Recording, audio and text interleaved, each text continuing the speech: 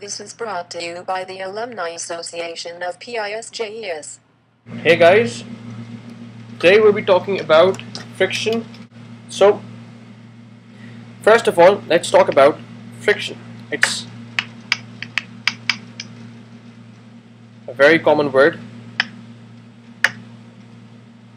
So, friction, as we know from the earlier videos, is a contact force. A contact force is a force that comes in action only when two objects are in contact or two objects are pressing against each other. Let's say this is the mass and this is the table. So unless these two are in contact, friction force would not be acting on this mass. Now friction force is an opposing force.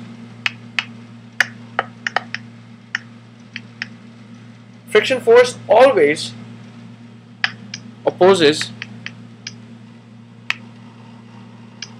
the velocity of the object.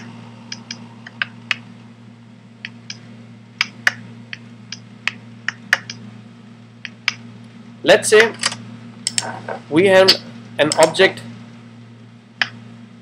in this direction. For example, let uh, we have an object of mass m, and this object is moving in this direction with a velocity of v.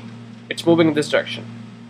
So the friction force would always be acting in the direction opposite to the velocity. Let's say this is friction.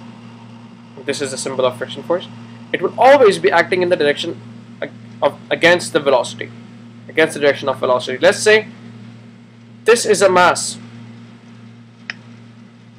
and its velocity is in this direction and its acceleration is in this direction. So many would get confused as to where the friction force would be acting. But always remember, the friction force does not care about the acceleration. It doesn't care whether the acceleration is, this is in this direction or in this direction. It doesn't care about that. All it cares about is the velocity of the object.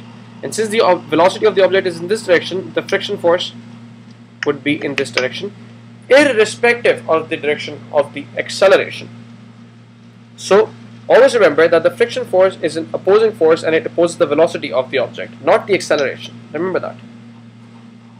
Also, friction force is a viscous force. A viscous force means that it produces heat whenever this friction force is acting somewhere. Uh, you just you can just see the example if you just rub your hand uh, on the table and just slide it on the table, you will feel your hand getting hot that is because the friction force is generating heat. So any force that generates heat is a viscous force and friction force is a viscous force. Now friction force depends on the mass of the object. The more the mass of the object, the more the friction acting across it. So if you have a scenario here, let's say this is just one table and this is one mass here which is small m and there's one mass here with a bigger m if they're sliding on the same table let's say if they're sliding on the same table uh, alright with a velocity in this direction and this one let's say in this direction too. So the friction force that is acting on M, let's say obviously it would be in this direction. Let's let's call it FR1 and the friction force acting on this would be acting in this direction because it's always opposing the velocity. It's called FR2. So since the mass of this box is greater than the mass of this box, the friction that would be acting against this box would be more than the friction acting on this box. So we can say that FR2 would be greater than FR1 on the same table. Obviously we have to keep something constant. I mean if we change the table then it would be illogical. We cannot compare unless we have the same table. So friction 2 would be greater than friction 1. So that is friction. Now let me take an example of friction. Let's say uh, I am I have a cart here. And it has wheels here. And it has a mass of say 10 kilograms. And I am pushing this card pulling this card uh, let's say in this direction with a force of 100 newtons alright? And this card has an acceleration of 2 meters per second square. And it's moving in this direction it's accelerating in this direction as well. However since we know that it's moving there will be a friction force and this friction force would be acting opposite to the direction of velocity so here will be our friction force. Now let's see if I want to find out the friction force. So let me just see our formula. Formula says F net is equals to MA the net force the total force. I know one force is in this direction which is 100 newtons and let's say this is let's say force of pulling it's in this direction and force of friction is in this direction. So we'll make an arbitrary axis here and I would call this one as positive the one on the right hand side is positive and the one on the left hand side is negative so this becomes positive and this becomes negative. So this would simply become 100 minus friction force as in the net force would become 100 minus friction force. I just added the two up. This was this was in this direction, so this become uh, negative. This was 100 plus minus FR. So this became the F net is 100 minus FR. Now you know the mass which is 100 uh, 10 kilograms and acceleration is 2 meters per second square. Just substitute uh, the uh, the values here in the formula. This would become 100 minus Fr is equals to 10 times 2. 100 minus Fr is equals to 20. Just take it here and take it here. 100 minus 20 is equals to positive Fr. The Fr is 80 newtons. So the frictional force acting on this mass is 80 newtons. So you can see how you calculated this. Let's just take another example of friction force. Let's say we have a mass of 20 kilograms. And I am pulling it in this direction with a force of let's say 100 newtons. And there is a friction force that I know about. And since the velocity is in this direction it's moving in this direction. Let's say the friction in this direction is 20 newtons. Alright so let's see what happens now I, I need to find out the acceleration of this block the acceleration of this block. So let's see, we'll have to find out, since the formula says F net is equals to MA, we'll have to find out the F net. And for that, we'll have to make our relative arbitrary axis. And I would say that this side is positive in the x-axis and this side is negative.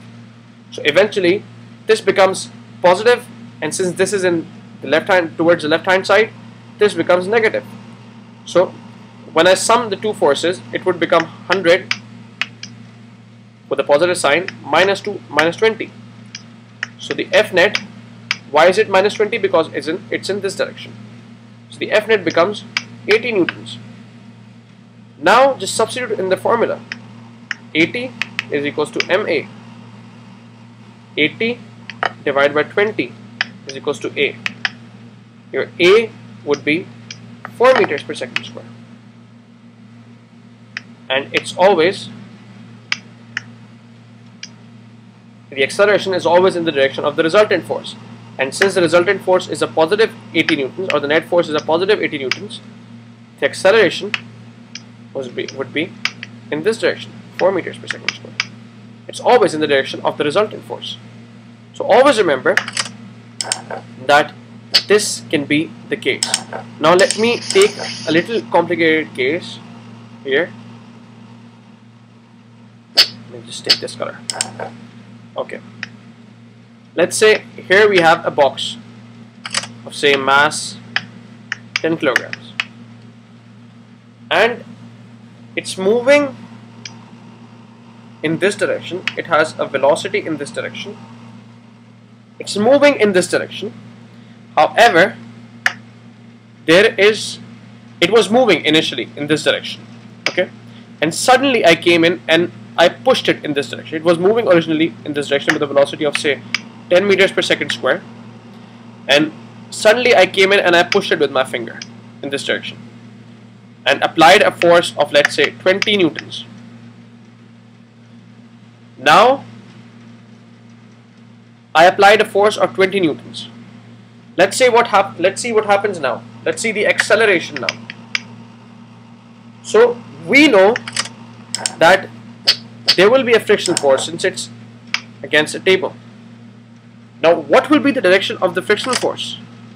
The direction of the frictional force is always opposite to the direction of the velocity irrespective of any other thing. So the direction of the frictional force is in this direction.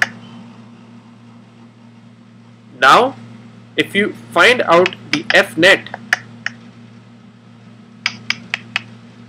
you will have to first take the arbitrary axis because all both the forces are in this direction let's take this direction as positive and this direction as negative so this one would become 20 plus Fr is equals to Ma. So the mass is 10 and we know the uh, do we know the acceleration? Okay, let's say uh, since the net force is in this direction, in the you would know that the net that the net force would always be in this direction because both of them are in this direction. So let's say the acceleration in this direction is 4 meters per second square. So let's find out the frictional force acting on this direction, on this mass. So 20 plus Fr is equals to mass is 10 kilograms times the acceleration which is 4. Now uh, this is your equation just simply 20 plus Fr is equals to 40 Fr is equals to 40 minus 20 and the friction force is 20 newtons. So here was the case that the friction force was not in the direction opposite to the force being applied or the acceleration. It was in the direction of the acceleration and in the direction of the force but it was opposite to the velocity and that is the condition of friction. It will always be in the direction opposite to the velocity. Now you can see the velocity and acceleration are in opposite directions.